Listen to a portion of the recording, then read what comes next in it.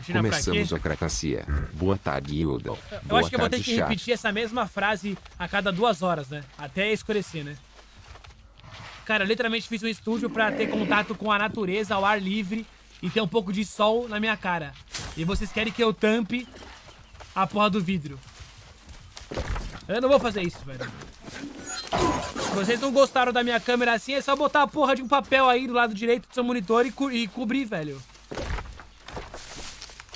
Porra! Cola no esparadrapo aí, velho. E desenhei o Yoda.